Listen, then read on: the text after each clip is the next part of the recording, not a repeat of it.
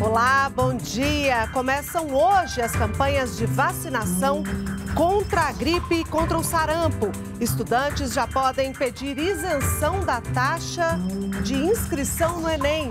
Defesa Civil reconhece situação de emergência em Angra dos Reis, no Rio de Janeiro. Cidade é uma das mais afetadas pelas fortes chuvas no estado. Segunda-feira, 4 de abril de 2022. O Brasil em Dia já está no ar.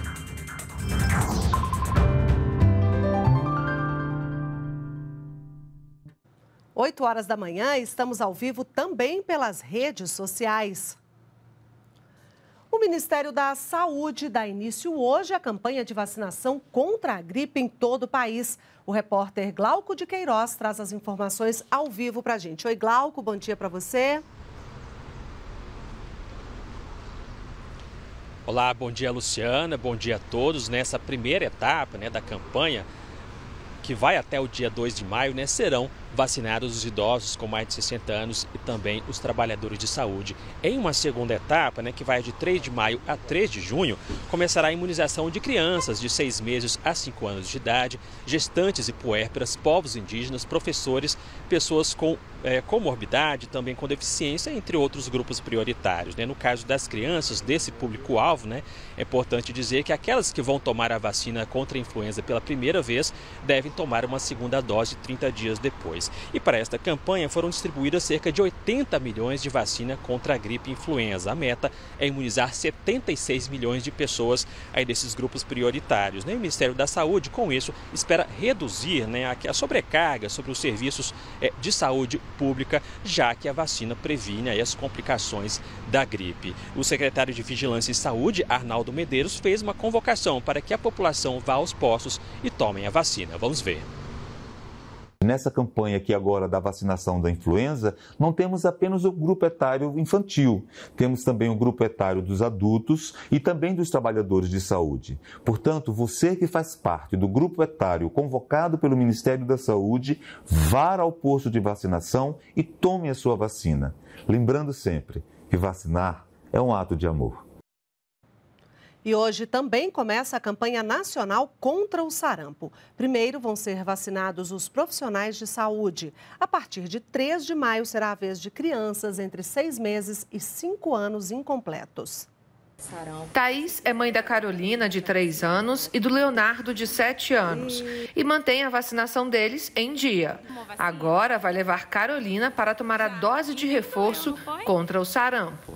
Agora que tem a campanha de sarampo, com certeza levarei a Carolina para vacinar. Ela que nasceu prematura, então a gente teve sempre um cuidado em manter a vacinação dela em dia. A campanha nacional contra o sarampo começa em 4 de abril.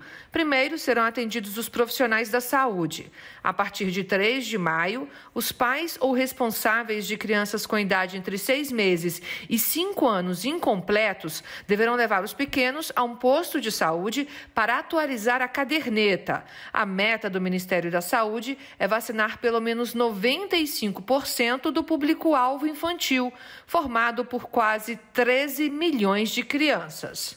O sarampo é uma doença viral altamente contagiosa, que passa de pessoa para pessoa a partir de gotículas de saliva.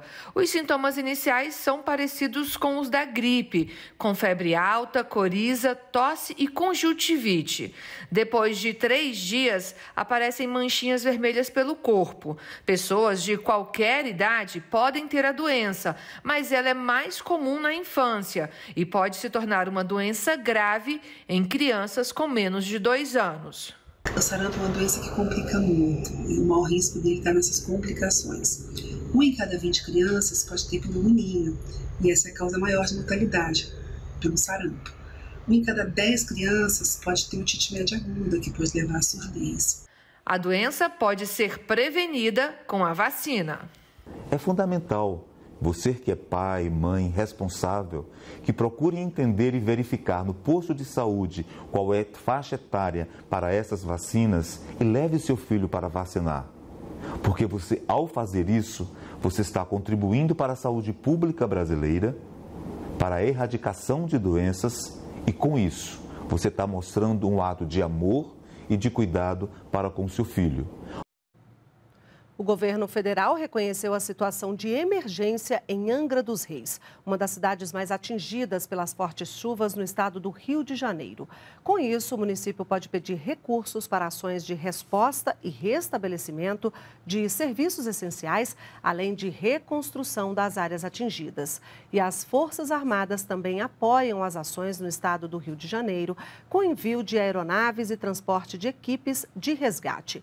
A Polícia Rodoviária Federal pede que motoristas não acessem a BR-101 na região da Costa Verde, no litoral sul do estado, onde há diversos pontos obstruídos. Segundo os bombeiros, pelo menos 16 pessoas morreram e sete estão desaparecidas no estado. Ontem, o presidente Jair Bolsonaro teve uma reunião por videoconferência com o prefeito de Angra dos Reis, Fernando Jordão, e com o governador do Rio de Janeiro, Cláudio Castro. Hoje, o presidente vai à cidade do Rio, onde irá assistir um evento no Cristo Redentor, acordo para ordenamento público do Parque Nacional da Tijuca e regularização fundiária das comunidades da Maré e do Parque Alegria. Cerca de 1.400 militares foram promovidos ao posto de segundo sargento do quadro especial da Aeronáutica. Um decreto assinado pelo presidente Jair Bolsonaro em dezembro do ano passado criou o um novo cargo, a exemplo do que já existe no Exército e na Marinha. O presidente Bolsonaro participou da cerimônia aqui em Brasília e disse que o decreto foi um ato de dever e justiça. Vocês fazem parte de uma corrente, um grande elo que existe entre a força, entre os oficiais e a ponta final da linha, os soldados. Então vocês são importantes para nós, prestam mais vários serviços à Força Aérea Brasileira e quem ganha com isso somos todos nós brasileiros. Um acordo entre a Polícia Rodoviária Federal e a Companhia de Entrepostos e Armazéns Gerais de São Paulo, CEAGESP, prevê a instalação de câmeras de segurança na central de abastecimento. Os equipamentos têm capacidade de reconhecer as placas dos veículos e vão aumentar a segurança no local. Na maior central de abastecimento da América Latina, a Companhia de Entrepostos e Armazéns Gerais de São Paulo, a CEAGESP, o movimento é grande. Em média, circulam todos os dias 50 mil pessoas e cerca de 12 mil veículos por aqui. E para aumentar a segurança, a CEAGESP fechou um acordo com a Polícia Rodoviária Federal. Serão instaladas câmeras inteligentes nas oito portarias de acesso ao entreposto. Os equipamentos usam tecnologias de reconhecimento automático em placas de veículos. As câmeras que vão ser, vão ser colocadas pela PRF vai ter a capacidade aí de fazer leituras de placa, identificar veículos que tenham queixa de furto, roubo ou qualquer outra situação. É, vai melhorar também a parte de questões relacionadas a tráfico de droga, que hoje é uma realidade também. Muitas vezes o caminhão acaba transportando produtos ilícitos. Então, vamos estar tá fazendo uma prevenção também. Esse estreitamento, esse contato mais próximo com a Polícia Rodoviária, ela vai procurar entender melhor como é que está acontecendo o transporte de verdura, não é? conversar mais com os permissionários e com os caminhoneiros e ver de que maneira que nós podemos, de alguma forma, viabilizar dentro dos nossos trabalhos, ajudar para que seja um transporte mais seguro. O comércio exterior do Brasil atingiu saldo positivo superior a 11 bilhões de dólares no primeiro trimestre. E em março, a balança comercial também ficou positiva. Quem comenta é Ricardo Caldas.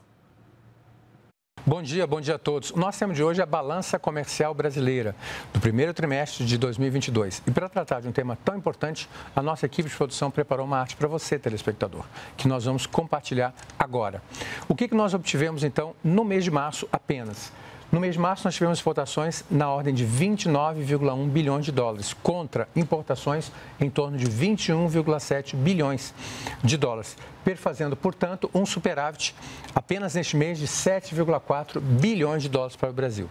Já no trimestre, a situação é um pouco diferente. O que, que nós temos então? Temos exportações de 71,7 bilhões de dólares contra importações de cerca de 60,4 bilhões de dólares, perfazendo dessa forma um superávit de 11,3 bilhões de dólares para o Brasil. Se nós anualizarmos esse dado, ou seja, fizermos uma projeção para o ano todo nós teremos um superávit, então, e de alguma coisa em torno de 44 a 50 bilhões de dólares, muito próximo do que foi obtido no ano passado. Quais os fatores que contribuíram para esse resultado? Em primeiro lugar, o preço das commodities, especialmente aquelas commodities agrícolas, né, cujo é, resultado foi 30, em torno de 36% maior do que do ano passado, e também as exportações de petróleo, que se tornam cada vez mais importantes nas exportações brasileiras, uma vez que o barril do petróleo teve um aumento considerável, chegou a 140 dólares e agora está oscilando entre 100 e 120 dólares o barril. Essas são as informações que nós tínhamos para você hoje. Continue conosco. Tenha um ótimo dia. E atenção, estudantes! Começa hoje o prazo para solicitar a isenção da taxa de inscrição do Enem de 2022. Podem fazer o pedido a estudantes da rede pública que estejam no último ano do ensino médio, os que cursaram todo o ensino médio como bolsistas e os de baixa renda inscritos, inscritos no cadastro único do governo federal. Os candidatos têm até 15 de abril para fazer as solicitações. O resultado vai sair em 22 de abril. Mais informações na internet na página do participante. Um ensino de qualidade com recursos específicos pode ser o diferencial na vida de um estudante autista.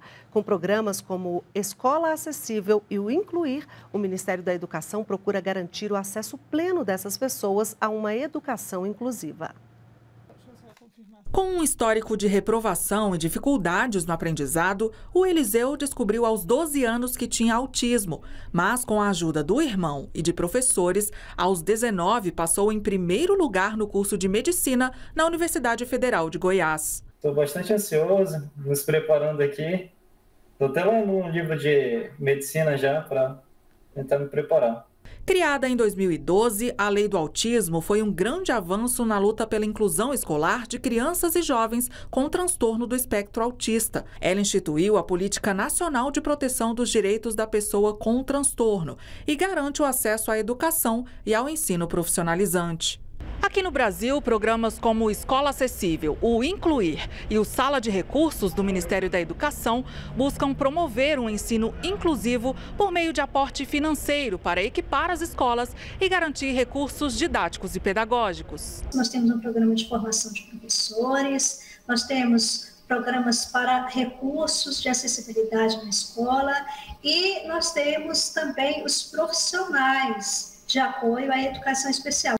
De 2020 até agora, o Ministério da Educação ofereceu mais de 20 mil vagas para a formação de professores do ensino especial e pretende disponibilizar mais 20 mil só neste ano.